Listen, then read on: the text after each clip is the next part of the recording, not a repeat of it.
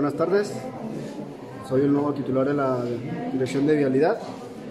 Venimos a, a sumarnos a los esfuerzos del mando único. Señor, eh, ¿a partir de cuándo le avisan a usted que, bueno, pues viene precisamente al municipio de Cuauhtémoc? Del 16 de este mes. ¿Instrucciones que traiga en en específico? señor? De momento ninguna. Eh, viene usted, trae carrera policial, que nos pudiera comentar un poquito en cuanto al antecedente se refiere.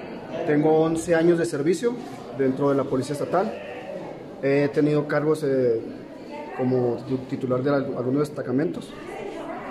A su arribo a esta nueva encomienda, ¿cómo encuentra la delegación de vialidad en? Ah, el Muy trabajo, bien. ¿Cómo, cómo se ha venido desarrollando los Por, informes? por lo poco Algunos cambios, algunas, algunos cambios de estrategias y más sobre el trabajo. So- Los-